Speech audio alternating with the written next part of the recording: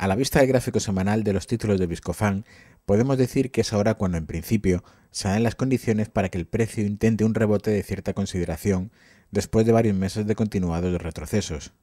De hecho, podemos ver de forma sencilla cómo tenemos el título justo en la base del movimiento lateral bajista de los últimos meses, por definición soporte, y además con unos osciladores semanales sobrevendidos y girados claramente al alza.